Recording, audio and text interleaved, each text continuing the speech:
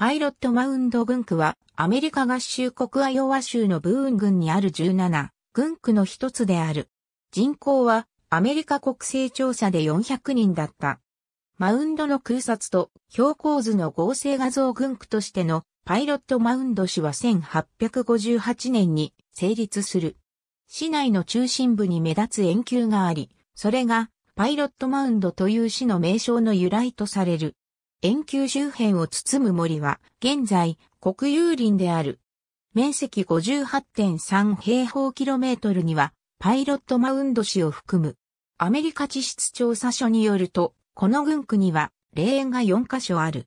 US Board on Geographic Names。EN United States Geological Survey 2008年1月31日閲覧アメリカンファクトファインダーアメリカ国勢調査局。2008年1月31日閲覧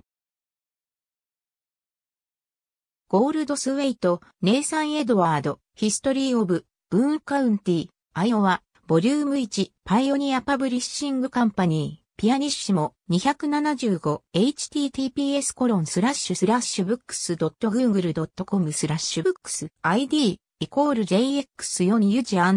ピコグラムイコール PA275V イコールオネパゲ &Q&F イコールフォルス、ハットウルフ、ロバート・チャールズ、アイオワステート・パークス、アイオワステート・ユニバーシティ・プレス、ISBN 0から813818583、ハースバーグ、ルース、ピアソン、ジョン、ザガイド2アイオワ、エスステート・プリザーブス、バーオークガイド、アイオワシティ、ユニバーシティ・オブ・アイオワ・プレス・フォーザ、アイオワ・デプト、オブ・ナチュラル・リソーシズ、ISBN 978から1から60938-0083億区8億1141万456。